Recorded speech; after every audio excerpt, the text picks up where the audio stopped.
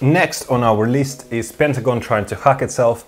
Nothing too exciting here to be honest, we have just uh, Pentagon employing AI to fight itself. So one AI tried to hack uh, Pentagon, another one tries to protect itself, and in this way they learn what is the best strategy to protect itself from pretty much anything that comes to cybersecurity. The main threat is not the outside, but the inside. It's the people that fuck up because we're lazy, we don't want to remember huge passwords, we're naive from time to time, and we are susceptible to scams of course. But hopefully something interesting will come from it. They are kind of worried that by doing this, they will create some sort of a AI that can hack pretty much anything. And that kind of sounds pretty cool, as long as it's in the right hands. But obviously, when did USA ever did anything to hack innocent people?